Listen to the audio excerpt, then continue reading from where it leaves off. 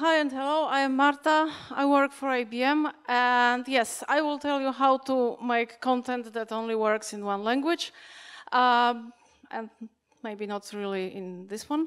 Sometimes I will also tell you, tell you a bit about how to make your content successful globally, just by coincidence maybe. A um, few words about me, uh, what Gosia didn't mention maybe. Uh, I work currently with about 12 Central European languages. Um, I hate uh, when somebody calls them Eastern Bloc languages, which I can explain later why. And uh, well, I am in, with IBM translation services for over 20 years, so I have really seen everything. And uh, I used to be a translator myself, but I'm also an IT person. I used to be a programmer, so I can really understand why programmers do what they do. And to some extent, why content creators do what they do, uh, why they do what they do to translators. And uh, about things which I don't really understand why they happen this way, I will ask you a couple of questions maybe. I also want to learn something today. Okay, uh, let's start with a couple of totally useless abbreviations like globalization, internationalization, and localization, and translation. So those are the basic, uh, basic terms uh, that I will be using, and I will probably be using them in a very free manner, so you don't have to memorize them that much. Uh, globalization is about producing content, producing products that can be sold really all over the world. Uh, internationalization is more technical aspect to it, what you need to do in the product so that it fits global audience. Not necessarily ever be translated into any language. Localization is to fit the product to certain markets, and in a moment I will show why. And translation is translation. So this was covered by Dagmara yesterday, and uh, I'm really glad that I'm speaking after her because she, she perfectly covered all the translation topics that I don't plan to cover today. So that's, that's really cool. Um, all these aspects, they refer to, well, everything. User interface, documentation, websites, and mobile apps. And from what I will be talking about, it's all the same. I mean, all content is, is about the same. So before we move forward, let me, let me make uh, just a mini, mini poll. Uh, how many people in this room are uh, writing for user interface? Okay. And how many just, uh, no, just uh, the very important documentation? Okay, thank you very much. So that's, that's what I needed to know because uh, I will not talk much about uh, details, uh, about writing details and translation details, but I will have one really nasty data example at the end, and I will uh, need your help a little bit about it. Uh, and one more question, uh, how many people in this room, uh, as of this moment, know Polish language? Okay, thank you very much, because I will have some, some examples related to this. Um, so, why translate, why localize, why do all this uh, funny stuff? Actually, uh, Wojtek Frelich from Argos, who is just coming in, into the room, has told me one story just yesterday, uh, which is not at all a translation story, but it's very much a localization story. Uh, so there was an uh, advertising of cranes, which was supposed to prove that they are very robust and uh, they can work in any conditions, which was showing them working under snow. Well, understandable here, and probably even more in Scandinavia. But uh, in Singapore, this advertising meant nothing, because even if they know what the snow is about, what, what this white stuff is, uh, it doesn't ring any bells for them that winter is a time when many machines don't work. So probably for them, uh, an appropriate advertising would be with heavy rain, with monsoon, but not with the snow. Um, now, how, how uh, this kind of uh, localization can be messed up. And by the way, I will not show too many messed up examples, even though the title of, of my speech was supposed to, to be like that. Uh, well, but anyway, this, those things will pop up anyway. And uh, not all messed up examples, not all examples at all will come from, IB, from my IBM practice. If any comes from IBM, I will admit it.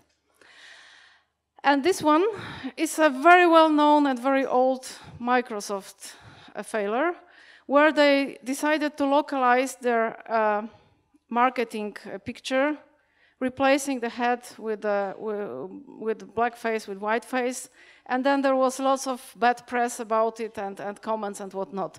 So no, this is not, not the right way of, of localizing stuff. Uh, what you can do with cranes, you cannot really do with people. Uh, another example, and here I would like to make a quick question to the Polish-speaking audience. Uh, please guess what's the uh, family name of, of this guy. This is, this is a label from a parcel from a reputable uh, web, uh, web, web shop where he purchased something, I don't know, a book or a film and he got it addressed like that. So anybody guesses what, what his name was, his family name? Yeah, Stępień. So um, just, sorry. Um, so here, I, am sorry for not writing it, the, the, the, correct solution. It should be uh, E, uh, e ogonek, the Polish special character, and then it should be E and accented N. So something really messed up around Unicode and, and, and worse. And it didn't happen 20 years ago, no. I am 20 years, over 20 years in this business, but this happened actually this year. So things like that just, just happen. Okay, why worry? The guy got his parcel after all, and Microsoft still works, right? Um, so why worry? Because of money. Uh, still, uh, not adjusting your product the, the product you work on, not adjusting to, to some uh, audience may mean a lost revenue because the product just cannot be sold there. Or if, if the owner decides to adapt the product at later phase, it's, it's always much more costly than uh, designing with, with globalization in mind. Um, there is a famous quote from ex-executive in, in IBM globalization, now happily retired, I hope. Uh, which customers do you want to not have? So if you, if you just say, okay, let's skip Asian languages, let's skip America, let's skip Europe, that's okay. If you, if you don't consider certain uh, group of languages, certain group of countries, this means those are not your customers, which may be a fair choice really that, that, that you make, and that's, I mean, that's a decision.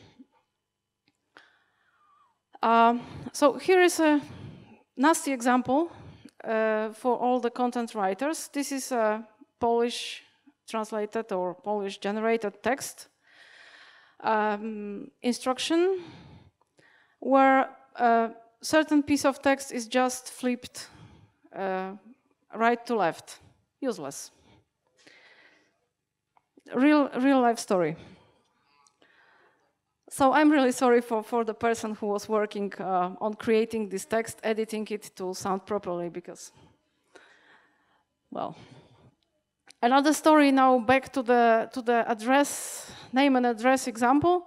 And I will be coming to back to addresses and um, uh, things about it really, really much because because global global trade and uh, selling stuff over internet is is a very very typical uh, these days, and it's, it's, it's a good opportunity for making money. So if somebody messes it up, then doesn't make the money. So uh, a colleague told me this story also this year, not 20 years ago. Uh, waiting for a parcel from Holland, also from internet shop, has experienced a really long delay because the city name somehow got lost, not even corrupted, but lost between the mail system in Holland and uh, DHL in Poland. And somehow DHL couldn't deliver to just uh, zip code and uh, Dolnośląskie, the, the, area in Poland, which is, which is uh, totally wrong because um, zip codes are unique in Poland, which is not globally true. And I will talk about it later, but in Poland it would work, so I don't really know why. Um, so maybe, maybe just not localize at all. That's, that's the IKEA choice. They, they, whatever content they can, they make it just global uh, and uh, more or less understandable for everybody. Sometimes it's really the best option. It, it really saves a lot of money. Just imagine if you had to translate simple instruction into 30 languages, proofread it, uh, fit it into the picture for every language and blah, blah. So maybe that's, when applicable, that's probably the very good choice. Okay, so uh, as I said, I will not only focus on bad examples. I will, I will tell you a bit about how to grow global, how to do it safely. But uh, one message, if, if, you, if you were to stop listening at this point because it's afternoon and you're tired, uh, then the, the one message that I would like you to keep from, from, from this speech would be the following. The broader you want to go with the product, the, the broader your customer wants to go with the product, the more aspects you should consider. So if you just consider Central Europe or Europe at all, uh, or Europe or um, and America, it's much easier than if you go globally or if you consider Asia or uh, South America and so on. So it's just choices. It's all about choices, and the more global, the more factors. Um, one of the good, really good uh, guidebooks for uh, user interface writers and content writers for documentation is IBM Globalization Design Guidelines. And I'm not selling a product here because it's a free, it's a free uh, set of web pages where there are pretty structured guidelines for, for content providers of, of all kinds. They, are not, they were not written last year, they are pretty old.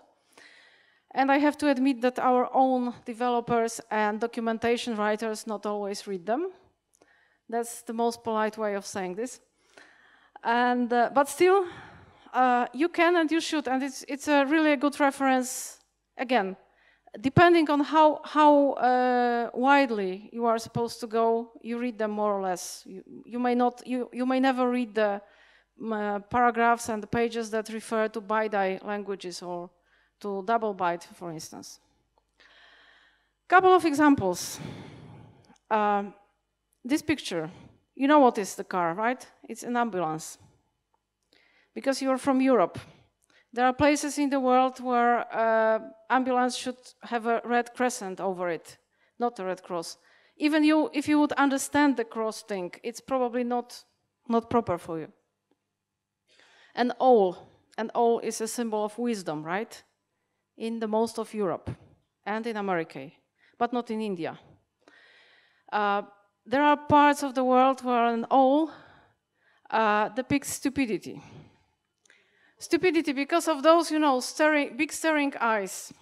So this, this particular owl here is a symbol of uh, Pallas Athena, the, the uh, goddess of wisdom, but that's European code. That's not global. So even though Duolingo um, software has an owl as, as, as their logo, it's not a, it's not a global thing. So just uh, think twice when, when you want to use an owl. And a German flag. Well, I'm, I'm very grateful to Anton that he, he used a German flag when talking about localizing videos, because um, here in Central Europe, German flag, German language, that's, that's clear, right? So a video marked with a German flag, it's clear, it will be a video in German language. We don't need anything more. But how about Austria and how about Switzerland? a video with German flag, is it use, usable there or is it not? Maybe the product is slightly different in Austria and slightly different in Switzerland, depending on, on type of the product. Uh, I will come back to this in a moment, but if it's a product from a housing industry or taxation or medical industry, maybe, maybe it will be slightly different. So even if you just look at Europe, German flag is, is not quite, quite clear message if you go beyond Central Europe. More examples, West Coast. It was also mentioned, uh, I think yesterday, uh, traveling from West Coast to East Coast with a camper. Okay, this is clear, it's America, right? But uh, simple expression West Coast, uh, in Ireland it's Galway or Connemara. Uh, in America, okay, it's Hollywood. In Poland, if you just translate it, zachodnie wybrzeże, it's Świnoujście. So uh, it's not, it's not, uh, not in each context, it will be an obvious expression. First day of a week, or everybody hates Monday. Why people in Egypt are supposed to hate Mondays? They have suffered on Sunday enough. So, I mean, for them it's the second day of week. So why worry on Monday? And uh, about weekdays, I will, I will talk in a moment. Christmas time. It's not, it's not about different religion even. It, it's, uh, and it's not even about Catholic and Orthodox, no. Um, in Poland, Christmas time begins on Christmas Eve and ends after the 26th. In America, it's just the Christmas Day, 25th of December. So if you uh, say you're taking, taking Christmas holidays for uh, Americans who don't work from, uh, with people from Europe, they will not even understand how many days actually you will be off. So if you're writing something where, where Christmas time, Christmas vacation is assumed duration, it may be totally wrong. I'm sorry. Um, okay, uh, some fun facts on names now. I have mentioned the guy where you had to guess his family name, but uh, again, it will be very useful for, for anybody dealing with online trade, addressing stuff, uh, people, uh, also human resources uh, stuff like uh, polling people on things and so on. A person can have an official, official name consisting of one, two, three or more items. In Poland, it's given name and family name.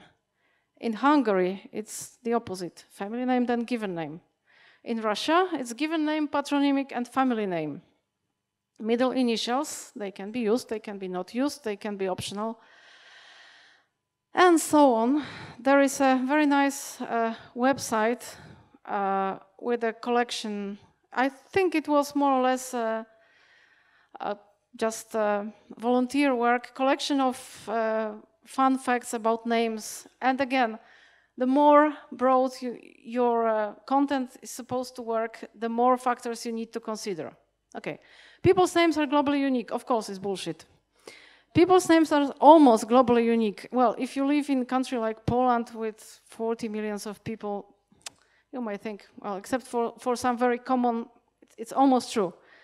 All right, but surely people's names are diverse enough so, so that no million people share the same name. Okay, so go to China or program for China. Just depends. What if maybe maybe your content is never going to hit Asia, then you don't need to worry. Uh, addresses, I have mentioned addresses already. And now we are back to this state thing we know from online shopping. Many online shops, even if they do business with Europe, but they are based in America, they still assume that state is a mandatory field. And here I have to admit that, well, I was ordering a new laptop at my own company just last month, and the system has forced me to enter state, and I thought, I thought that maybe I will play a little bit because I couldn't leave this field blank. And actually, in all official, well, they are internal documents, but in all official corporate documents that were uh, registering this new laptop for me, I am located not in Kansas anymore. So um, this is this is uh, something that we are used to, but maybe in in 2017 it's it's high time to resolve this bloody state thing. Again, bad encoding can do a lot of harm. I, I, don't go into technicalities that much. I don't, don't talk about Unicode and stuff. But uh, another real life story. A guy lives in Łódź, that's a city in Poland. And here, big, uh, big applause to, to Polish Post because they can deliver, they can deliver really a package addressed to something like this. Yeah, this guy got his package. so uh, hooray to, to, to, the people uh, sorting out the stuff in, in, in Polish Post. Really, good guys. Um, about, about addresses, uh, another another nice collection uh, for, of fun facts where I when I picked just three out of about 50 or 100.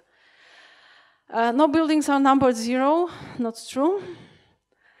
Uh, a zip code corresponds to a single city. That's what I said just, just a while ago. In Poland, yes, this is true. Zip code is, is unique to a city and, uh, well, um, you can identify area even, even if a, if a city is not placed properly, zip code is unique, but not everywhere. Like in America, it happens that uh, it can be different cities and the other way around as well. Uh, now more programming stuff. Uh, street numbers don't contain fractions, so you can, you can just use basic uh, symbols. Not true, as you can see. And the, the funniest part about it is that this address with 43rd uh, and a half, like, like a, a bit like in Harry Potter, it can be written in three different ways, in Unicode, as a fraction with a slash, or as a decimal, and all three are valid for, for this uh, address system. So if you are um, designing an interface which will accept user data, it must, it must consider all, all these possibilities. Uh, now probably the most boring part of what I'm going to say, but uh, I think I, I, I, owe it to, to, to the users. Uh, the date and time format, it should be selectable, which is uh, obvious. There must be the proper default for an area, for a country or a region. And there can be more than one correct uh, date and time format in a given part of the world. Uh, the, the, the thing we, which we all hate here is the, the, the, fact that in the US they switch month and uh, day versus us. So uh, 6-9 2017 is the American way of saying what date it is today. Uh, in Poland, month names must have in every calendar, uh, they must have two forms. One is the, the, the, basic month name, like now we have czerwiec. But one mandatory form is genitive, czerwca, which applies in dates. And it's not possible to use one form to fit both of them. There was a there was a common, I think, Unicode uh, issue in some of the Javas, but I, I, can't, I can't remember now, which was pretty, pretty, uh, I would say, distributed in many kinds of products. Uh, we have met it in, in our products and also, in, I think, in, in, in Android, that the calendar, uh, name of a month in the calendar actually was this genitive form, which is only applicable to, to, to, to the date. This is not funny for not Polish speakers, but for Polish speakers, believe me, it is funny when the month is called czerwca or lipca. Um, again, uh, in Israel, one may use Georgian calendar, like, like ours, or Jewish Hebrew calendar, and it's optional, and there are some flavors to this, but basically, uh, system designed for, properly designed for Israel must consider two types of calendar. And there is much more fun about calendars, really. Uh, first day of a week, well, as I mentioned, doesn't have to be Monday. In, even in America, they traditionally see it as Sunday. And uh, there is much more to this than the calendars. Uh, now it will be an IBM story. We were testing the localization of software, which was designed for uh, um, registering the work time in, in, fact, in factories and so on. And we were not functional testing, we were testing the localization, testing the, the if, if the translation fits, Polish translation fits into, into the program. And very late in the testing, we noticed that uh, our testers uh, actually found a functional defect, but because when they wanted to register uh, the work time by, by the scenario they got, they got improperly calculated overtime. Why was that? Because the day, the, the working hours they were supposed to register on Monday, they registered to Sunday. Because the calendar started the, the week on Sunday, which was totally not intuitive to them, and they didn't look at, at the day name, they just registered to the first, to the first day they saw. So this, this is a success story because we managed to, uh, to report this as, as functional defect and before, before going to Europe this, uh, this system was fixed so that the default uh, first workday was Monday. In production it, it, it would be really problematic. So the calendar is not just calendar, it, it uh, impacts the work time recording, the vacation planning, uh, definition of weekend and so on. And here, here um, uh, it really rings some bells with the, with the previous presentation uh, where uh, it was about virtual teams and working remotely. So uh, planning meeting with, with the people I work with, uh, it's, it's lots of fun because I need to remember that my colleagues uh, from Egypt have a different weekend, that my colleagues from, from Russia have different holidays, and my colleague from uh, Hungary, who actually uh, is Serbian, uh, he has the Hungarian holidays and the uh, Orthodox holidays, religious holidays. And if we are going to plan a meeting with somebody, uh, with us, I mean the Europeans and the Egyptians and somebody from America, we need to remember that on Thanksgiving there is no chance to, to, to I mean, nothing. Uh, on the other hand, on the 26th of December, they will be looking for us probably. So, again, the broader you go, the more factors to consider. And of course, there is never enough fun with numbers, so th these are the trivia. What is the decimal separator? What is the thousand separator? And this is more to this because uh, the, there is a format how data is presented, but there is also the format how data is stored and how any application uh, or a web page operates on the data internally. And those have to be the same. This, this sounds pretty geeky and scientific, but it is not. Uh, I mean, if you ever worked on Excel sheet, uh, which you needed to exchange from somebody from different country, then you, you know it and how to convert it and how to ensure in, in quick time that, that it's, not, it's not that easy.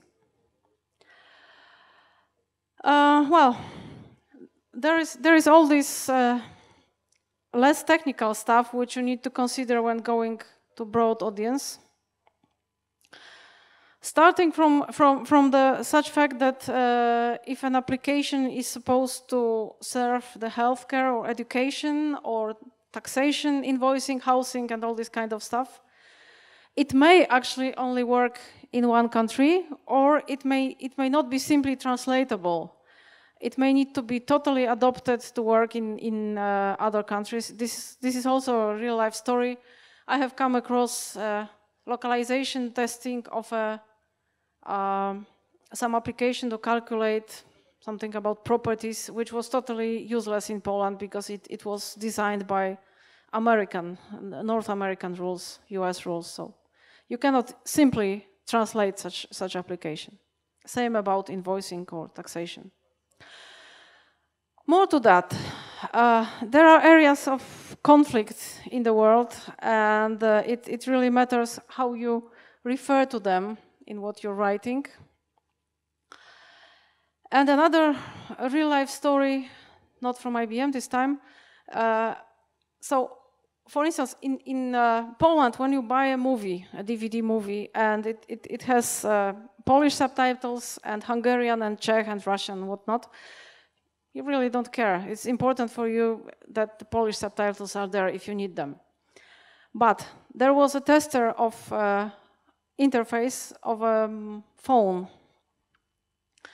Um, he said that it's totally not, he was testing the Arabic version. He said that it's not totally not acceptable for him that there, there is a selectable Hebrew version of this interface. And it was a valid, it was, for, for, for those countries, it was a valid uh, complaint. And actually the, the phone was released for, for, for a set of Arabic countries without Hebrew version selectable because it was, it was not uh, acceptable for those customers. There was a totally separate uh, interface for uh, Hebrew uh, users. I don't know if it was with Arabic or without, but it, it had to be a, another one. Uh, more soft stuff, but also important. Uh, when you um, have marketing text with information like multivitamins or industry leading, well, uh, it's totally fine in, in the US. Uh, it probably needs to be uh, make a bit softer uh, message for for Europe, for Poland, because if you translate it literally, it's funny. But if you want to sell the product in Japan, you need to specify what vitamins and in which amounts. Otherwise, you cannot put multivitamins on, on a product. If you want to say it's industry leading, you need to say what metric you're using and what's the result.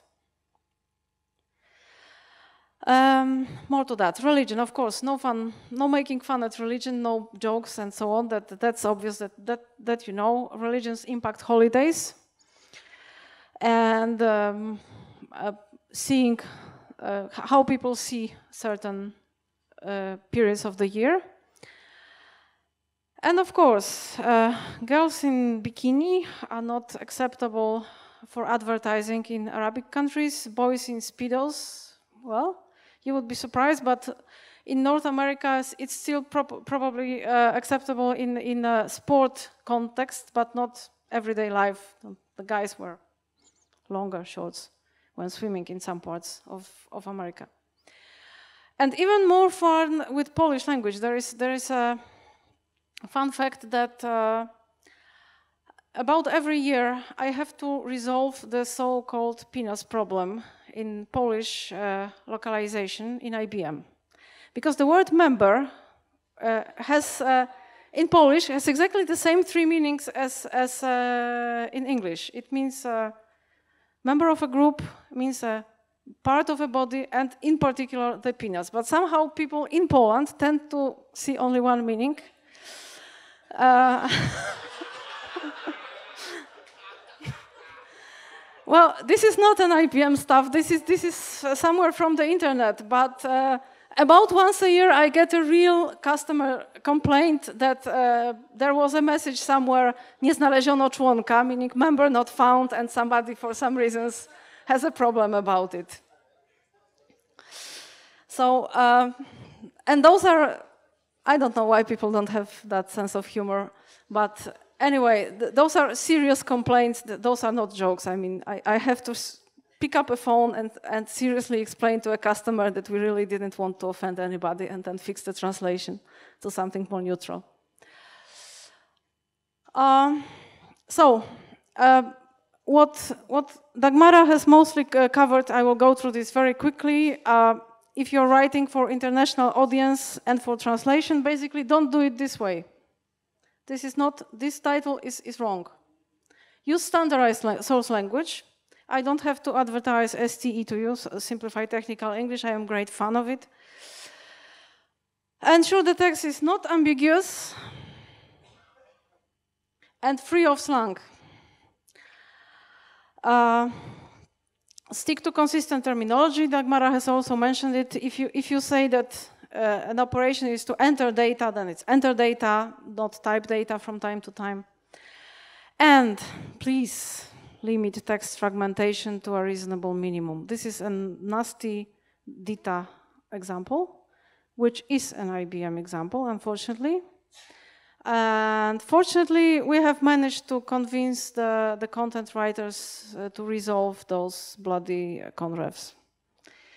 Because uh, in order to translate this, uh, this piece of content, it, it, it reads uh, a brand of cloud applications that the organization authorizes for use, where cloud and applications are, are conrefs. So in order to translate this, uh, the translators needed first to re uh, revert the sequence of the conrefs in, in the sentence. Second, create uh, additional conrefs for uh, non-basic forms for genitive and plural genitive. I can, I can explain it to, to, any, to any volunteer later on how, how, how we deal with that. But believe it, if you have it in every single sentence, then it's, it's a no-no. It's not doable. So I believe there, there is a big red button in the editors that all you data writers are using, which says at the end of your work, resolve on all conrefs. I really believe it exists because, well, sometimes those problems are solved. And the last thing I'm going to show you, there will be a mini, mini contest for you. Uh, the users will have their ways anyway.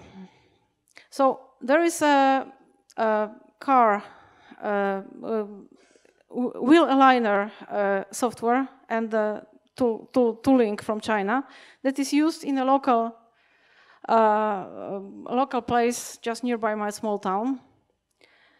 And this software uh, to operate the wheel aligner is localized from, from Chinese to English, uh, Spanish, Greek, Russian, Korean, and Polish. Uh, the owner of, the, of that place is a Polish guy, native Polish guy, but he's for some reason using the software in Chinese. And that's, uh, I'm sorry for the awful scan, it's a printout of what we got this, this spring when, when changing the tires. So a question to you. Why is the guy using the software in Polish? Uh, sorry, in Chinese, in Chinese. That's really mind-boggling.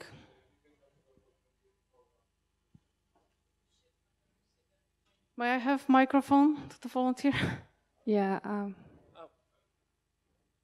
Okay, it's there. I just wondered if it was shipped like that and he didn't know what to press to put it into Polish. No, it's not like that.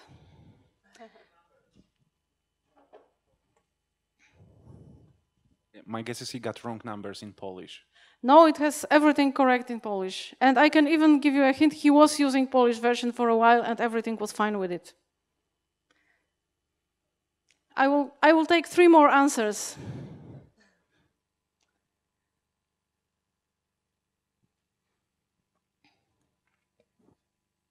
Maybe the software was updated and they didn't have the Polish version ready? Sorry? The software was updated, but they only remembered to ship the Chinese version with it? No, the, the, the software is updated in, in uh, all languages at the same time. Everything is fine with, with updates.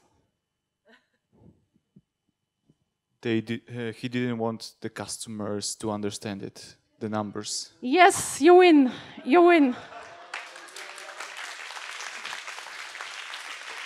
Congratulations.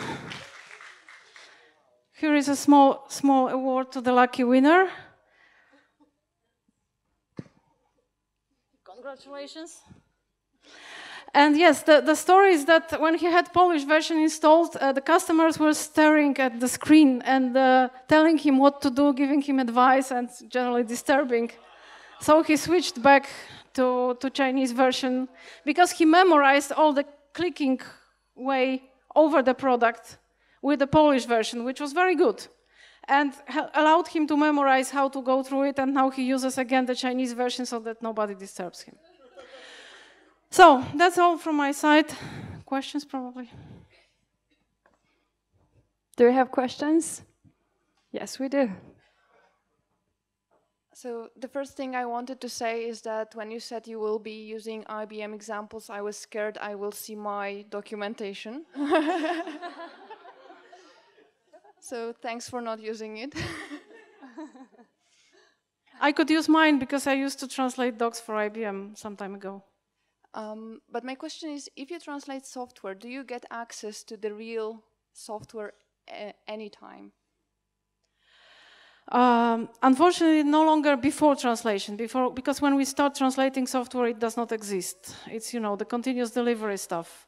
So when we start translating strings, the, the, the, the, product is not really working. But yes, after afterwards we test the localization, hopefully on the live product, sometimes on remote, uh, sometimes on, uh, on, on remote access, sometimes on just just on screen captures, which we don't like, but the developers like it. So yes, we see what we have done in the most cases. Okay, thanks. More questions? There's one here. Do you have any history that when you try to localize stuff or translate it, it turned out that the software needs to be rewritten or anything like that? I can imagine that, that the software was based on assumption that just didn't localize. Have you any story like that? Yes, I have some stories. Uh, one, one I mentioned uh, today is that there was uh, something about housing and uh, calculating the property price and, and uh, taxes and stuff that just needed to be totally redone before distributing in Europe. But there are also examples of software. Uh, well, I will, I will try to say it politely to my company that this is mostly acquired from other sources, where the software was created without without any globalization in mind and created US only. And then uh, it turns out during localization process that the, there are so many issues that it needs to be really rewritten before it can, it can be translated into any languages.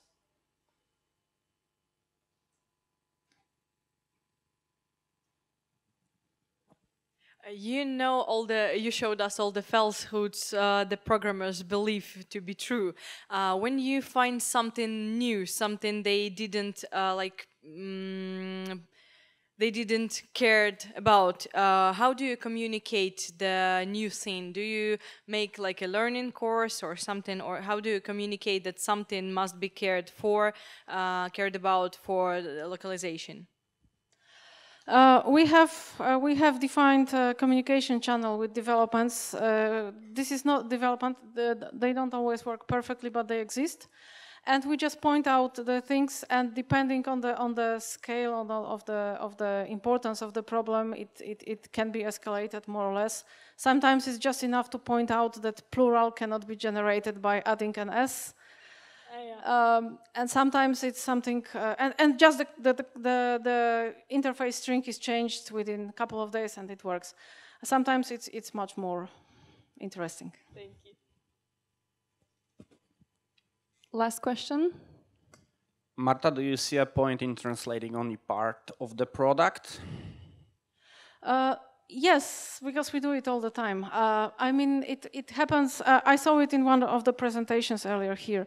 It, it's often a choice. Wasn't it your presentation? Yeah, it was. Uh, it, it's often a, a, corporate choice that uh, for uh, some major languages like Japanese or German, the full product is not translated.